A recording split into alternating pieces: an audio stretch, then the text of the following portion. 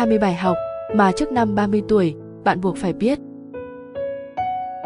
Đừng vì tiết kiệm vài ba đồng bạc mà hạ thấp tiêu chuẩn cuộc sống tối thiểu của bản thân.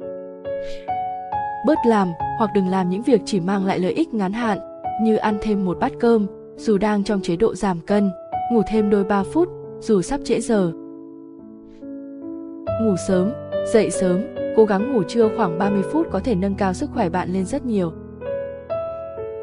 Thỉnh thoảng hãy lọc lại danh sách bạn bè, xóa những tài khoản không còn liên lạc, xóa bớt những app chỉ để giải trí vô bổ, thanh lý bớt những trang phục không bao giờ mặc tới.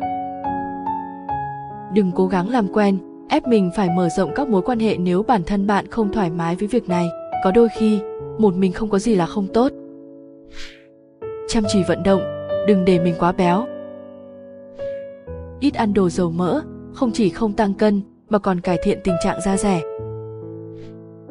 Đừng xem thường bất kỳ đối thủ nào, cũng đừng run sợ trước bất kỳ kẻ địch nào. Lương tháng trên 10 triệu không khó, chỉ cần bạn biết nhiều thứ, lương tháng 50 triệu mới khó, bởi bạn cần hiểu chuyên sâu, nắm trọn trong tay một lĩnh vực duy nhất. Hãy tin vào việc đầu tư sinh lời và tích lũy, 85% của cải trong đời đều có được sau năm 40 tuổi. Đừng bao giờ hy sinh bản thân, chỉ muốn lấy lòng người khác, tình bạn chân chính vốn dĩ không cần gắng sức duy trì như thế. Kiên trì theo đuổi đam mê, sở thích, dù là vẽ tranh, đọc sách, chụp ảnh, bởi nó không chỉ có ích khi bạn còn trẻ, mà sẽ giúp bạn vượt qua phần lớn những khoảng thời gian cô độc nhất.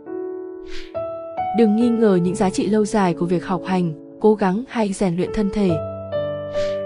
Đừng sợ nói lời từ chối người khác, khi cự tuyệt một người, càng dứt khoát càng tốt. Nghe hơi thực dụng, nhưng kiếm tiền là một trong những cách tốt nhất để bảo vệ những người bạn yêu thương. Những người gắng quá sức thường chạy không xa, hãy nhớ đời người không phải chạy đua nước rút 100 mét, mà nó là cả cuộc đua marathon. Đừng quá tin vào những lời khuyên trên mạng xã hội, bởi có rất nhiều điều nghe thì thuyết phục, nhưng chưa chắc đã phù hợp với bạn. Bạn phải biết cách phân biệt tốt xấu, áp dụng những lời khuyên một cách hợp lý. Đừng chỉ chăm chăm tìm kiếm sự tán thành của người khác, quá để ý đến đánh giá của người khác, bởi tới cùng, bạn sẽ chỉ sống trong cuộc đời của người ta mà chẳng hề biết gì về chính mình. Thất tình chẳng phải việc gì to tát, bạn có thể khóc lóc, có thể suy sụp nhưng đừng tuyệt vọng quá lâu, bởi tình yêu không phải tất cả của cuộc sống. Bớt ngưỡng vọng người khác rồi suýt xoa ghen tị, mỗi người sinh ra có một hoàn cảnh, gia thế, kinh nghiệm sống, thiết kế tương lai khác nhau. Bạn phải hiểu rõ hiện trạng của bản thân để quy hoạch và từng bước tiến tới